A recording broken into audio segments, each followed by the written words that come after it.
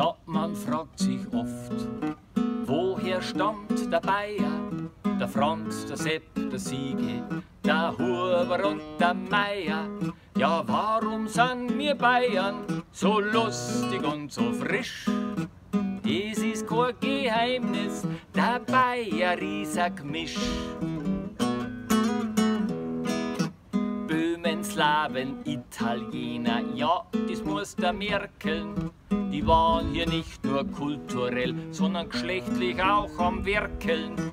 Darum hat der Bayer Kultur, Verstand und Stil. Darum ist der Bayer auch so zierlich und grazil. Ich sag's euch, ja, ich sag's euch, obwohl ich's ihr jetzt lacht's. Es ist die Mischung, ja, die Mischung, ja, die macht's. Es ist die Mischung, ja, die Mischung, ja, die macht's. Und überhaupt beim Essen, das war ja noch die China, was Maroni kriechen und ohne Italiener, ohne Spanier, Franzosen, Türken, Asiaten. Wir waren mal wie noch beim Wurstsalat und bei der kalten Platten.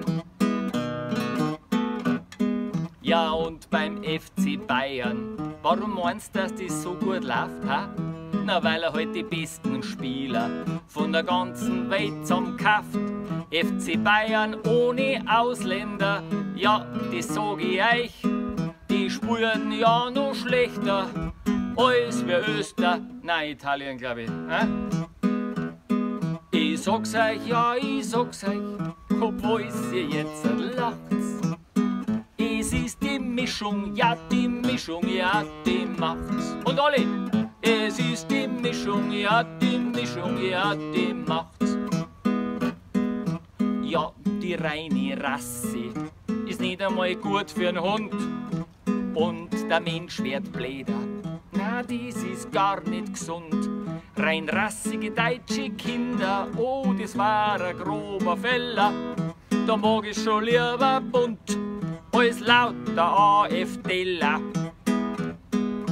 Drum, ihr Deutschen, paart euch mit Chinesen und mit Inder, weil es gibt dann gescheite und auch noch schöne Kinder. Weil ich sag's euch, ja, ich sag's euch, ihr jetzt lacht's. Es ist die Mischung, ja, die Mischung, ja, die macht's. Es ist die Mischung, ja, die Mischung, ja, die macht's.